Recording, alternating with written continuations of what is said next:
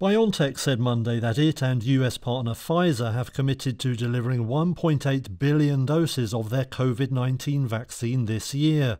That is up from an earlier target of 1.4 billion announced in March. And the numbers will go even higher in 2022. The duo say they will have capacity for more than 3 billion doses that year. They have been spared the production troubles that have dogged rival shots, such as those made by AstraZeneca and Johnson & Johnson. Monday's numbers come as BioNTech announced first quarter results. It saw revenues soar to just over 2 billion euros, or about 2.5 billion dollars. That is up from just 27.7 million euros a year earlier.